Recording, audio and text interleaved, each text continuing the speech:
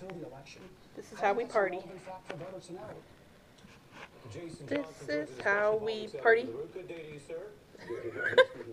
Uh, let's start with where Congress fits in. And I Lola's obsessed with slippers. Republicans to Put aside all of the. I want to go to sorry. American, Did I scare you? I'm sorry. uh, reading from this Times report.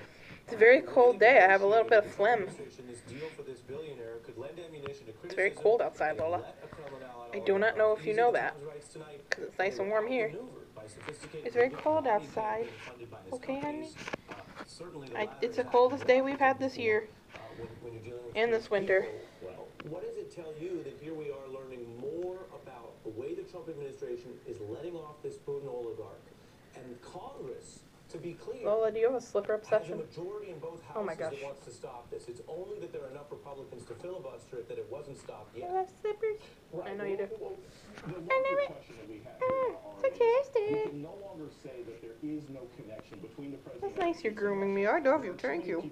Thank you for grooming me.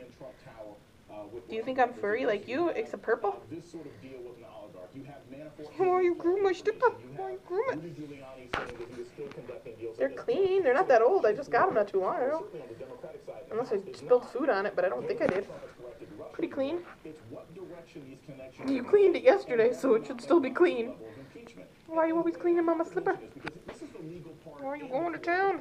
Every single time Rudy Giuliani Do you think you're grooming me? Jail, Every time he says something wrong, every time Or do you just like the way it feels on your tongue? step back in James Harden. It's Or you think it tastes good?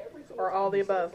Probably all the above. fuel to Democrats to All of the money above. All of the money above. This is an issue we should be focused on. Because the thing that the Trump I love administration wants is slippers. they want Democrats